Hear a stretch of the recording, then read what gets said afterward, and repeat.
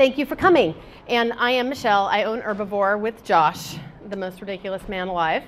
And um, we, uh, we, this is a talk, just a, probably 10 minutes, 15 minutes tops. Um, I did a different version of this in um, November at Farm Sanctuary in California. And um, just talked to, there are lots of different people there, people that are vegetarian, vegan, and then people that had no idea what they were getting themselves into when they went to visit farm animals. Um, and it was really great because, you know, it was a chance to talk about vegan food and rethinking the holidays. Um, and obviously that was about Thanksgiving in particular. Um, but I know everybody here is already vegan. Um, and, you know, when they're talking about doing different kinds of activism, you know, just by being who you are, you already are an activist in some ways. But I think what the idea is is we want people to do more, and, and it's easy to do to do more.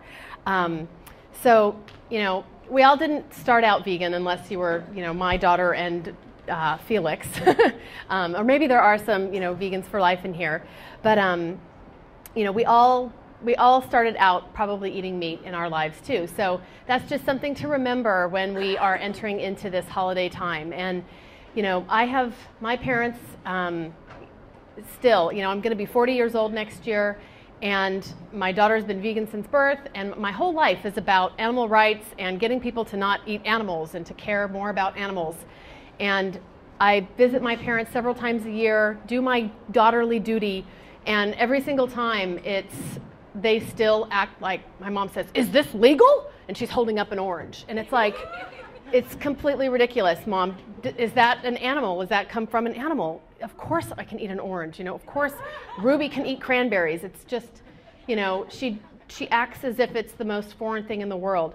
Um, and in a, in a sense, you know, she feels that I've rejected everything that she raised me to be. You know, not only am I not Republican and playing golf, but I'm not eating animals and I don't want to eat bacon for breakfast or I don't want to eat eggs and, you know, my daughter doesn't eat hydrogenated oil and all these crazy things. But, you know, it's something that we just have to remember that we've already rethought the traditions of our lives. My mom and dad haven't. They're probably not. I'm kind of, you know, I'm coming to that conclusion, and that's just fine. Doesn't mean I'm going to stop caring or stop trying to get them to realize that, you know, you love to look at those cows and they're so cute, but then you want to eat one. Or, you know, when you say things, well, why don't you just eat a dog? And they think that's so crazy.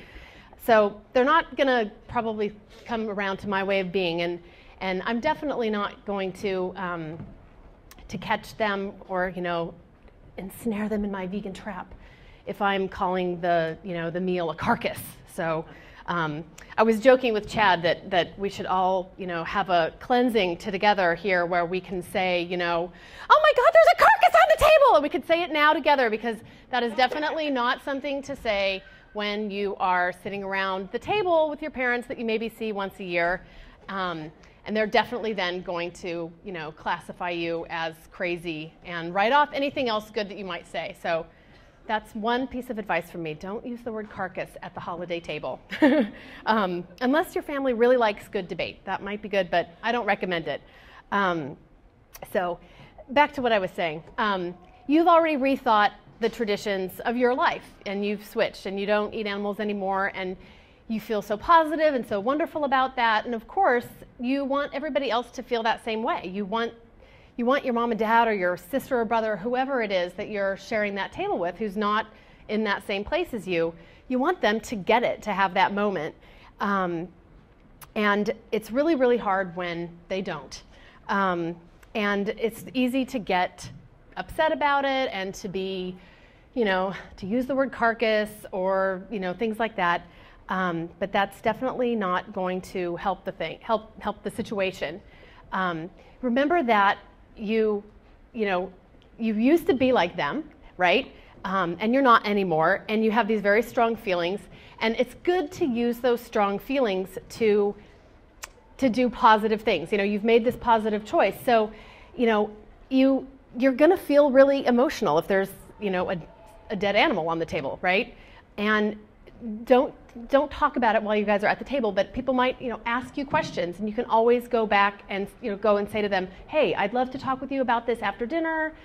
You know, but I don't think that talking about it at the table with people is probably going to be the best thing. Um, but your your feelings are things that you shouldn't have to apologize for. You know, if you get upset, that's okay. I mean, you're a compassionate person, or you wouldn't be vegan, right? So, don't apologize for feeling like just feeling sad or feeling frustrated. You're compassionate and you need to own that. Um, and just remember that the people around you might not be in that same place.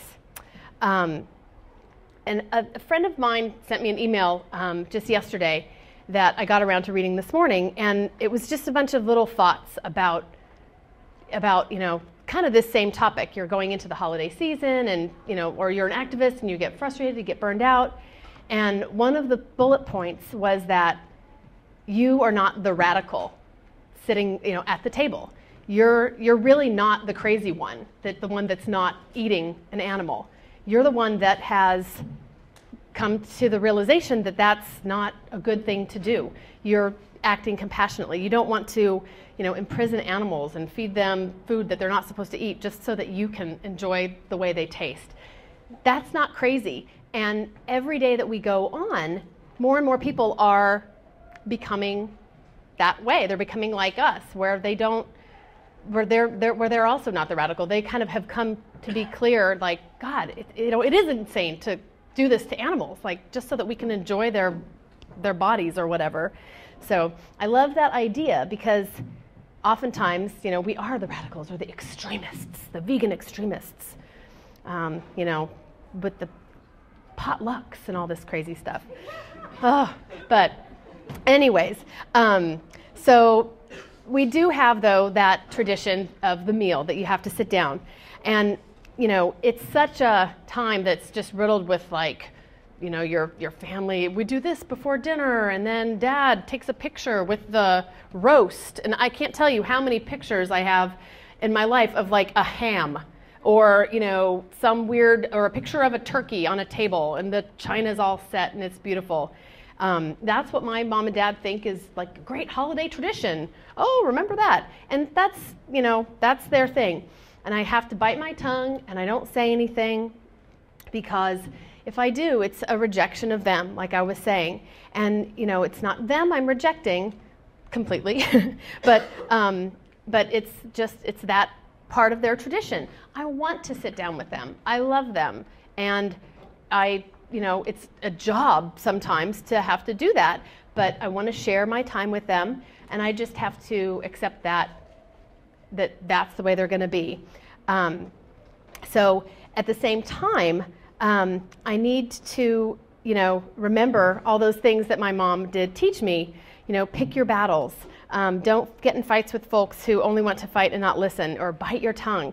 one of my favorite things to say um, is, you know, what I learned in the few years of Catholic school that I went to is do unto others as you would have others do unto you.